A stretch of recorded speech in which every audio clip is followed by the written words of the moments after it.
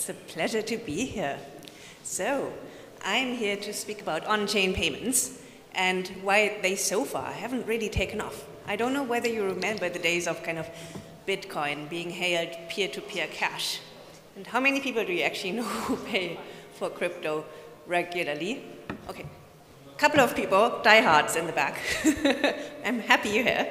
Um, we kind of want to open this up for everyone else too.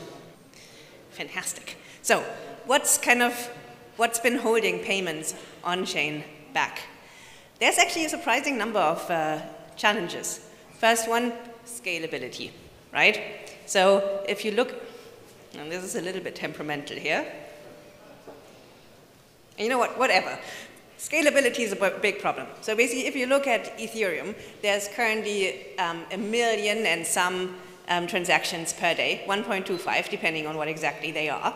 Um, and th there's nothing on the roadmap to substantially change that in the next three years. So if you look at kind of what we can actually do with this, um, I did some back of the envelope maths. And uh, in Ethereum circles, this meme actually made the rounds um, a few months back, uh, basically uh, telling the Bitcoin crowd that Bitcoin can't scale even enough to kind of have everyone open a lightning channel upon birth and close it again 80 years later. But to be honest, Ethereum's not actually any better. So scalability has its limits. Um, um, for that, we now have layer twos and layer threes, like uh, Philip just talked about. Um, but even on these, the um, fees that the transactions cost, they rise in lockstep with fees on um, layer one, okay? So basically fees go up on layer one, fees go up on layer two.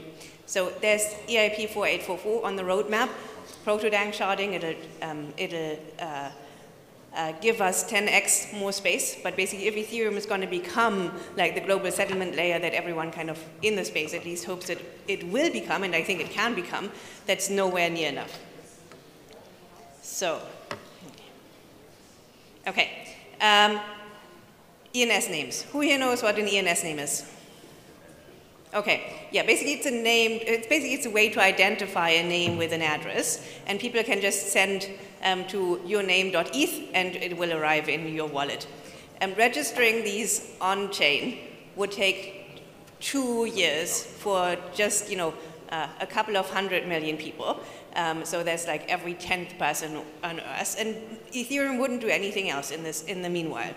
Um, example two, um, say instead of registering ENS names, you now um, let, uh, let, um, uh, let the stock market settle on Ethereum, right?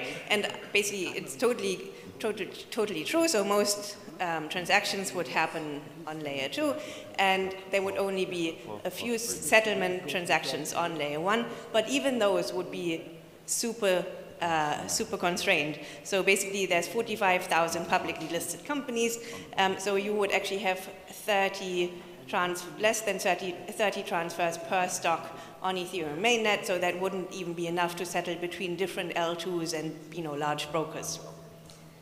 So the next problem is volatility, right? So first, we can't scale enough, so that means that, um, uh, that transactions are just too expensive. Second is volatility, right? So basically, you try to pay someone, they say, okay, I'd like, you know, point zero one of a Bitcoin for this, and then the next day it's not no longer 0.01, it's 0.012, okay? So for that, we invented stablecoins. You guys know stablecoins. Um, the problem with stablecoins is that historically, many of these have not actually been terribly stable, and a lot of people actually have been burned by them, um, which means they're now under a lot of regulatory scrutiny. So stablecoins also somewhat difficult topic in the space. Okay, next topic is self-custody. Um, so basically, how many of you have ever how many of you have ever started a wallet, like downloaded a wallet and fantastic. So you guys know like the flow with these are your 12 words. Never lose them. So put them in as many places as possible, but also never show them to anyone because otherwise all your funds are gone. Okay?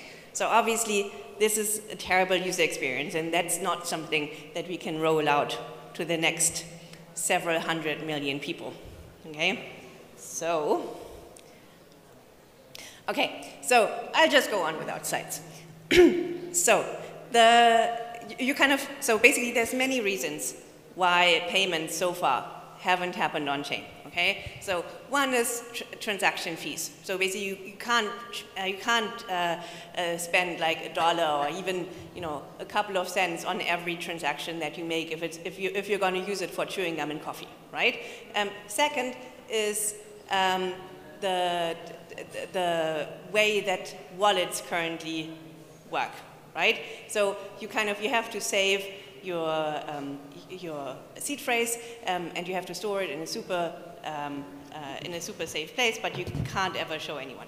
So, and the thing is, there's also not that big of a need, right? Because payments, we know payments. Payments work. You all have like credit cards in your pockets. They work terrifically. For you, basically, what's there to make better, right?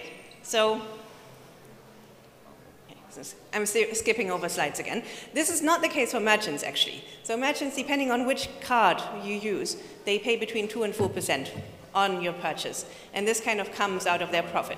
So merchants are not hugely excited about the Visa MasterCard space, um, but they kind of, they have to offer them because kind of making, um, making a payment um, and only receiving 98% um, is better than kind of not making the sale at all.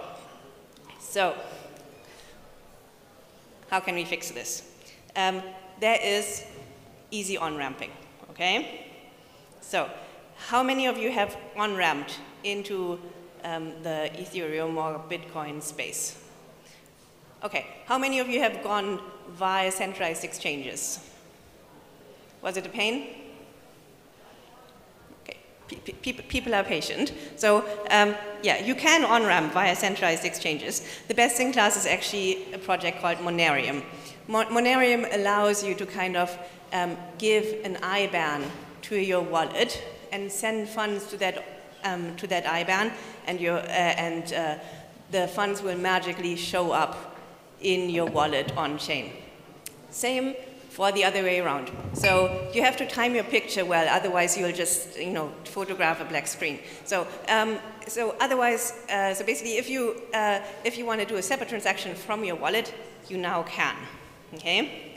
There's no fees, so you have to go through very light KYC, um, and then you can give your wallet an IBAN. Secondly, last year was the year of self-custody. Why? You guys remember FTX, Celsius, you know, the entire Voyager implosion. Um, all of those were kind of trusted entities. And as Philip said in the last talk, trust in this, uh, in this uh, ecosystem is a dirty word, right? So if you look at um, how many bitcoins actually went into self-custody from exchanges after these meltdowns, it was um, 15 million bitcoins. So yeah, it's uh, crazy. And we think this is going to come to payments next.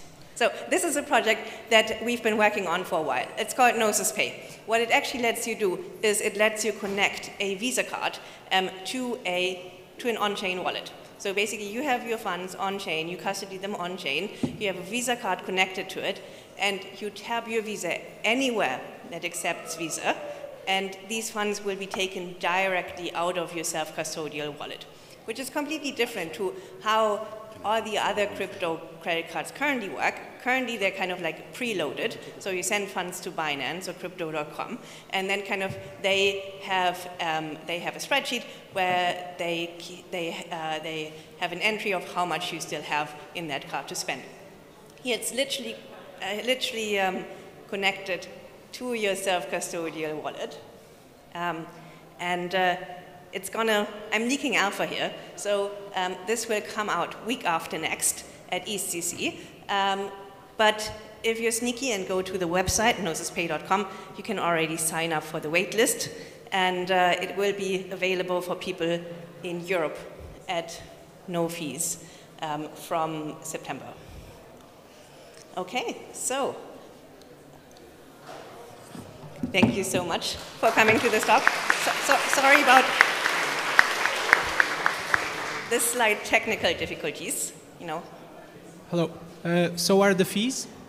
When a person passes the visa, what are the fees? Um, so the fees, so basically there's um, two different kinds of fees. So basically on the crypto side, there's no fees. On the Visa fee, on the Visa card, so basically it goes through the regular Visa payment stack. So basically you, the merchant pays the regular fees that it would, that they would pay with any other Visa credit card. But that's basically on the Visa side. There are no additional fees on the crypto side. It's a very insightful question because a lot of these crypto, crypto credit card cards actually have outrageous fees. So you pay like 5% or something on all purchases, and this is not the case here. So basically for the user, zero fees. You have to pay once um, to get the card. It'll be 30 euros, um, and then you, you can use it forever for free.